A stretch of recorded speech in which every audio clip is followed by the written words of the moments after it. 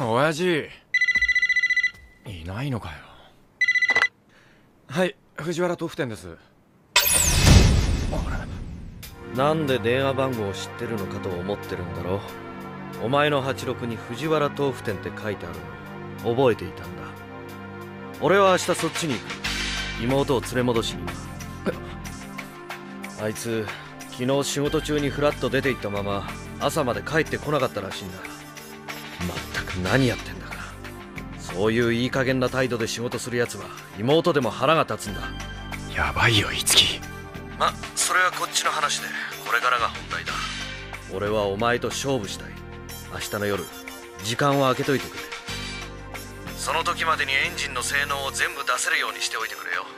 出ないと意味がないからな。頼んだぜ。じゃまた連絡する